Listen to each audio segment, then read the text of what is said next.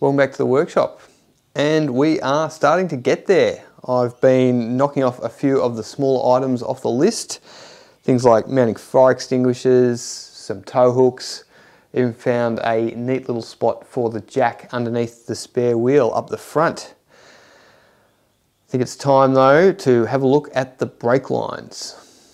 So we'll be going with this uh, more conventional uh, hard line for the majority of the brake system to uh, hopefully improve pedal feel until we get out to the wheels where we'll be using some more of this flexible overbraided stuff. I think the first thing we'll do is uh, create the junction between the two, the flexible and the hard line, and also a bulkhead fitting to get the hard line from the pedal box out of the cabin. To do that, I've got a bunch of these stainless steel uh, 3 8 by 24 inverted flare unions. As mentioned before, these fittings are stainless steel. And although shiny, I absolutely hate this stuff. Its only redeeming property is its corrosion resistance, which is why it's shiny. And unless you're looking for something with terrible heat transfer properties, I see no reason to use this anywhere on a race car. It has terrible fatigue life, it is impossible to cut, it warps its brains out when you weld it, and it bluntens all your drills. But we're going to use it for these brackets because these are already stainless and I don't want to have to paint the brackets. First thing we need to do is cut this out. We'll do that with the angle grinder because I don't want to kill my bandsaw. And then we need to drill some holes in it. I should mention I've made this quite thick, thicker than I would normally uh, use for a bracket like this, but that is to stop uh, the, the warping when I weld it to the fittings. These are quite a hefty little fitting. There's quite a lot of material in there if I was to weld a thin wall sort of uh, bracket to a thick unit like that out of stainless steel, yeah, uh, that wouldn't work very well.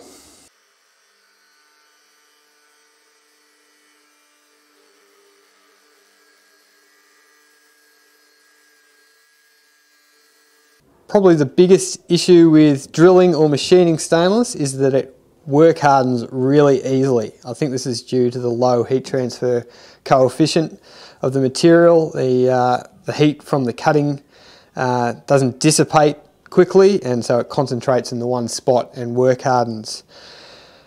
So the trick is to go slow, use plenty of um, cutting fluid, have a good sharp tool and make sure you're always taking a chip. Um, the last thing you want to do is have the tool rubbing on the surface, generating heat and work hardening. So I've got the drill set up pretty slow. Let's do this.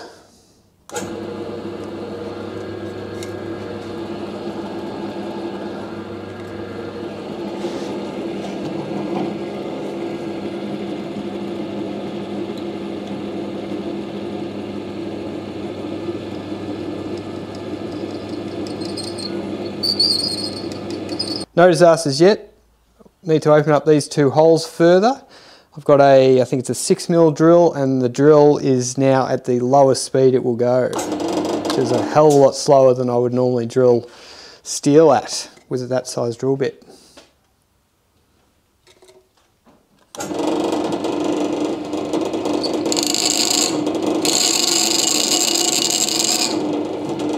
That is not a happy drill. Bit of a touch up on the grinder, uh, let's see if that improves the situation.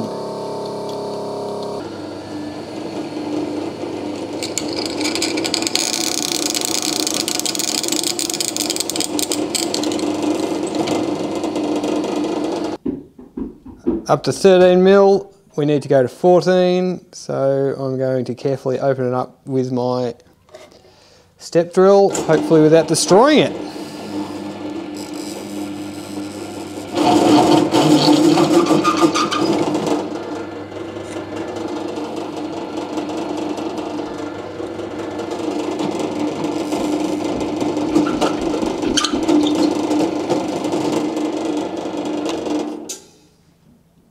Going to tap out these two holes to M5. Uh, no tricks here, just a pretty good quality tap set, lots of cutting fluid and plenty of hope.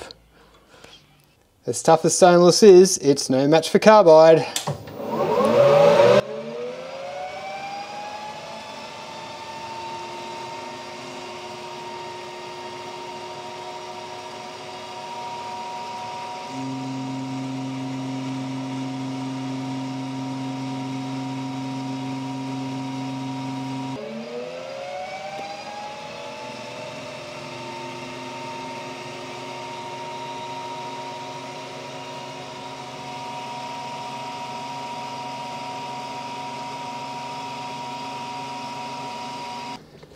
Unfortunately, the bulkhead is at, at a bit of an angle, so I need to overlap these holes to get this plate angled on the fittings. The biggest carbide end mill I've got is 12 millimeters. I've found this old high-speed steel end mill in the bottom of my drawer. It's the right size. Let's see if it lasts.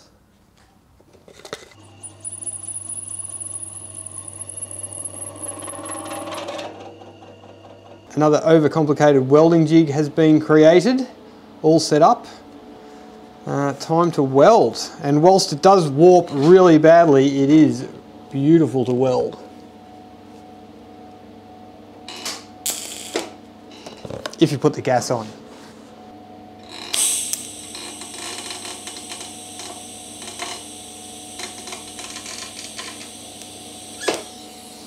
Disasters have been averted. That's come out quite nicely.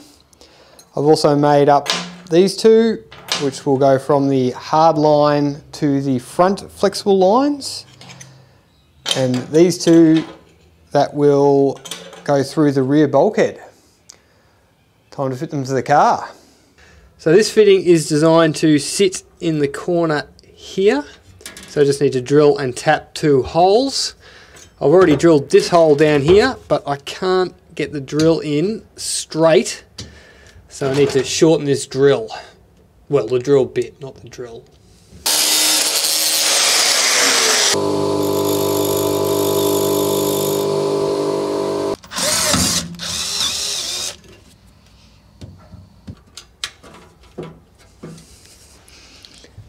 Time to fit this one. It goes into this panel. This is not going to be much fun to drill. It was bad enough just marking it out and trying to center punch it. Well, there was a fair bit of drill misalignment going on there, but we got away with it. So last off, we have the fitting that will be the union between the hard line and the flexible line going to the front brake caliper. And it'll live somewhere about there. Unfortunately, the steering rack mount is right in the way of the drill. Uh, I can't get the drill in there to create some mounting holes and I've run out of little tricks I can pull off with the drill. There's just not enough space there. So I made up these little uh, stud plates and I'm just going to weld that onto the back of the chassis rail to create the mount.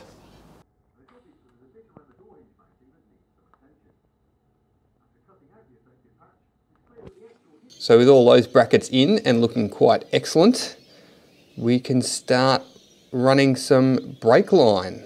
We'll start with the trickiest, which is the rear. So we need to come out of that bulkhead, do a U-turn and come back down the center tunnel. Back out the tunnel through this oval hole, which I cut out with my oval hole saw, into a T-piece, which will position there, or somewhere about. So to start off we need a straight length of around about 1800 millimeters out of our coiled up brake line. To help straighten it I bought myself a little tube straightener. This should result in a straight tube and uh, some questionable hand movements I think.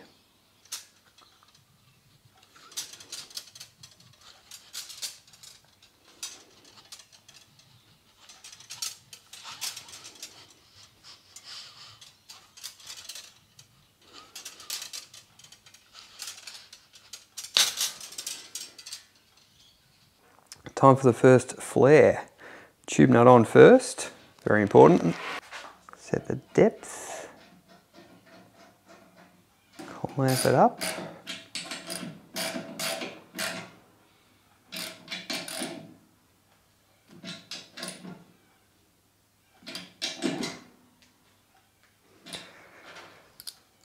This is a two-part process, so I'm going to make sure we get do it in the right order.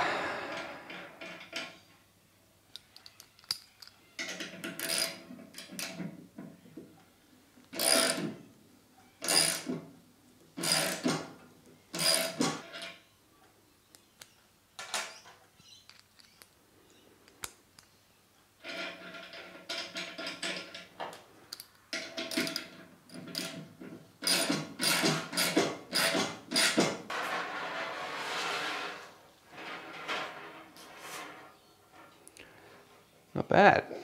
So here's a mock-up of what we need to do. This plate represents the uh, center chassis section that we need to uh, go through. So we need a dog leg pretty much straight off this fitting down and inside the tube. I want the bend right up near the fitting so we're not going to be able to use the tube bender in the conventional way.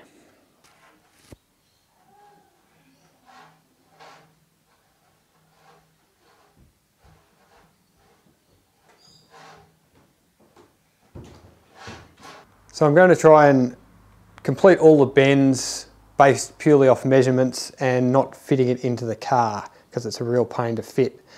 I've got the tube nut end we've already done clamped to one end of the bench. Once again, I'm not going to use the tube bender as intended. I've got the die out of my tube bender clamped to the bench and I'm just going to bend it around by hand. The tube's still running in the groove, uh, so I still get a nice uniform bend. This stuff bends really easily anyway, there's no real da danger of crimping it. Uh, and then we'll move the die to do the second bend. Once I do the clamp up tight enough.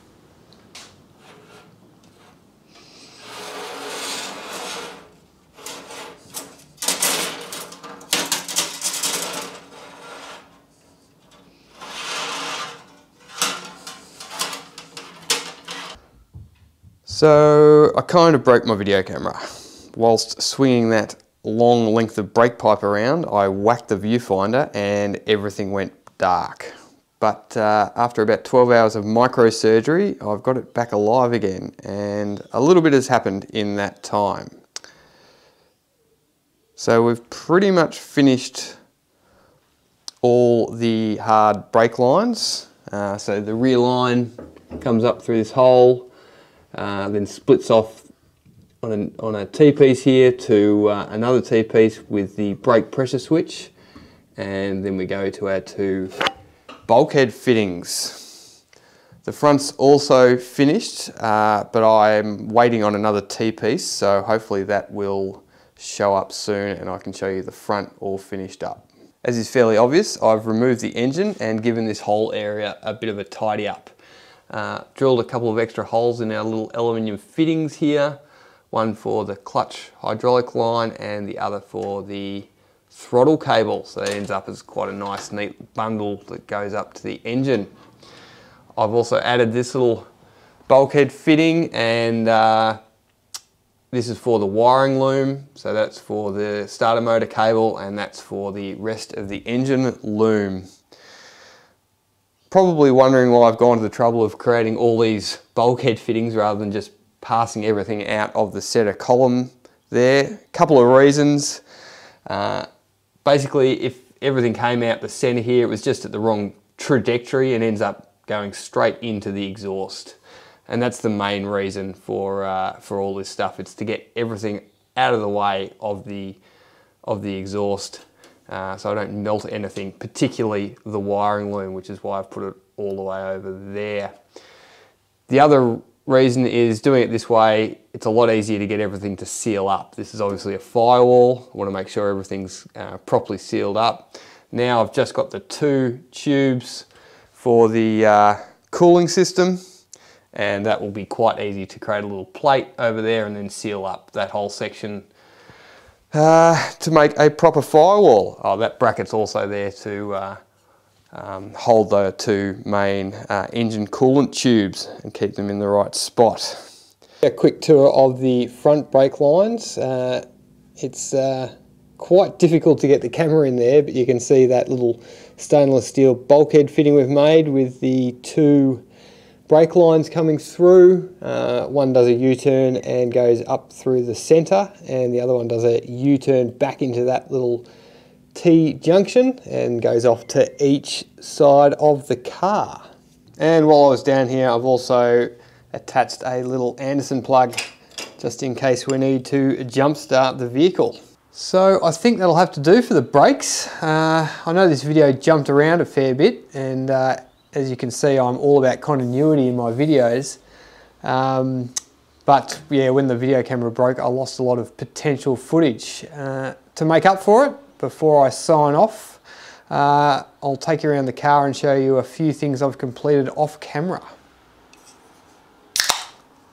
Up the front we have a nice new aluminium floor plate which uh, should help reduce the filth that enters the non-engine bay and there you can also see the what I think is a fairly neat little location for the jack. I made a lightweight version of the uh, bonnet restraint and because uh, I'm all about symmetry I added one on the other side as well. Not sure if I've shown these before but I made some pretty sweet looking new side panels slash radiator mounts. Inside the cabin I uh, finally got the aluminium to finish off the firewall on the inside. And out of the same gigantic sheet of aluminium, I managed to make the outside firewall panel as well. Ooh, I also welded in a little mount for the GoPro camera, and that is specially located to ensure that the minute amount of rear view um, vision I had has been blocked by the camera. Also made this cover plate on the, in the passenger footwell that will house some very important items, but that will have to wait for another video. Thanks for watching.